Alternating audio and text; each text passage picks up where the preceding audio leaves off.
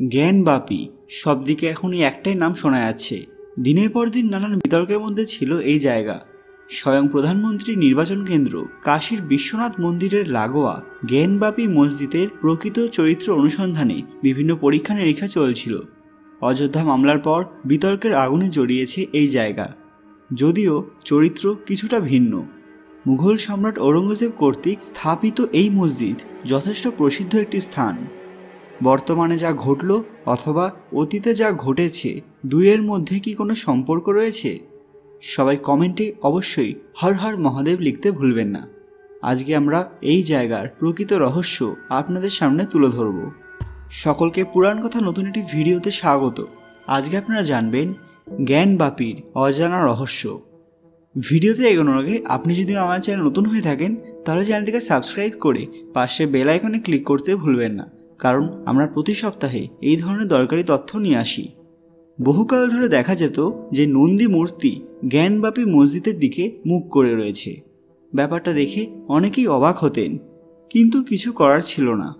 হিন্দু ধর্মের এক প্রধান গ্রন্থ শিব মহাপুরাণ। এই শিব পুরাণ অনুসারে নন্দী হল ভগবান শিবের সবচেয়ে প্রধান ভক্ত এবং প্রত্যেক শিব মন্দিরে প্রবেশ করার আগেই নন্দী মূর্তি আপনার চোখে পড়বেই।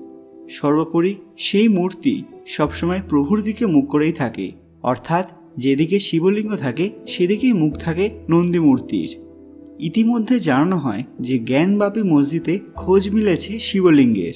সোমবার এক আইনজীবী দাবি করেন যে মসজিদে ভিডিওগ্রাফি চলাকালীন শিবলিঙ্গের খোঁজ পাওয়া যায়। এরপরেই সেই জায়গাটিকে সিল করে রাখার নির্দেশ দেয় আদালত। যদি আমরা এর ইতিহাসের দিকে তাকাই, তাহলে দেখতে পাবো যে দ্বাদশ শতকে ভারত আক্রমণকারী মোহাম্মদ ঘড়ির সেনাপতি কুতুবুদ্দিন আইবকের হাতেই নাকি প্রথম আক্রান্ত হয়েছিল কাশীর আদি বিশ্বনাথ মন্দির। কিছু বছর পর কাশীর বাসিন্দারা মন্দিরটি সংস্কার করেন। আবার অনেকে দাবি করেন যে সপ্তদশ শতকে কাশীর বিশ্বনাথ মন্দির ধ্বংস করেছিলেন মুঘল সম্রাট ঔরঙ্গজেব এবং সেই জমির একাংশে গড়ে তোলা হয় বর্তমান জ্ঞানবাপী। ঠিক এর লাগোয়া জমিতেই রয়েছে কাশীর বিশ্বনাথ মন্দির। সেই সময় থেকে মন্দির ও মসজিদ দুই জায়গায় শান্তিপূর্ণভাবে সহাবস্থান করছিল। দুইয়ের মাঝে রয়েছে কাটা তারের বেড়া, তার সাথে রয়েছে একটি কুয়ো। হিন্দুরা বিশ্বাস করত যে এখানেই মন্দিরের শিবলিঙ্গকে লুকিয়ে রাখা হয়েছে। ইতিমধ্যে সোশ্যাল মিডিয়ায় বেশ কয়েকটি ছবি ঘুরতে শুরু করেছে, যেগুলোকে হিন্দুত্ববাদীদের তরফে শিবলিঙ্গ বলে দাবি করা হয়েছে। তাদের দাবি জ্ঞানব্যাপী মসজিদে একটি কুয়ো রয়েছে, আর তার মধ্যেই একটি শিবলিঙ্গ আছে। হিন্দু পক্ষের আইনজীবী দাবি করেন যে জ্ঞানব্যাপীর ওয়াজুখানায় বারো ফুট আট ইঞ্চির একটি শিবলিঙ্গ পাওয়া গেছে। তাদের দাবি কুয়োটি জলমগ্ন ছিল। সেই জল বাইরে থেকে বের করে দেওয়ার পরই শিবলিঙ্গটি বাইরে বেরিয়ে আসে। বেনারসের জ্ঞানব্যাপী শ্রীনগর এলাকায় এই জায়গাকে নিয়ে বিতর্ক অনেক দিনের। পাঁচজন হিন্দু রমণী মসজিদ চত্বরের পশ্চিম প্রান্তের বাড়ির দেওয়ালে, যেখানে হিন্দু দেবদেবীর মূর্তি খোদিত, সেখানে দৈনন্দিন পুজো করার অনুমতি চেয়েছেন। আপাতত পুজোর সেই অধিকার রয়েছে বছরে মাত্র একটি দিনে। চৈত্র মাসের নবরাত্রিতে যেদিন শৃঙ্গার গৌরীর আরাধনা করা হয়। রমণীদের দাবি, মসজিদ চত্বরে দৃশ্যমান যেসব দেবদেবীর মূর্তি রয়েছে, যেমন শৃঙ্গার গৌরী, হনুমান ও গণেশ, তাদের তো বটেই। এছাড়া অদৃশ্য বিগ্রহের নিত্য পুজো দর্শনের অধিকার তাদের রয়েছে। আদালত সেই অধিকার যেন তাদের দেয়। মঙ্গলবারই বারাণসী আদালতে রিপোর্ট জমা দেওয়ার কথা ছিল। তারপরেই মামলার শুনানি হওয়ার কথা ছিল। যেহেতু কমিটি রিপোর্ট জমা দেবে না বলে জানিয়েছে, সেই কারণে শুনানি পিছিয়ে গেল।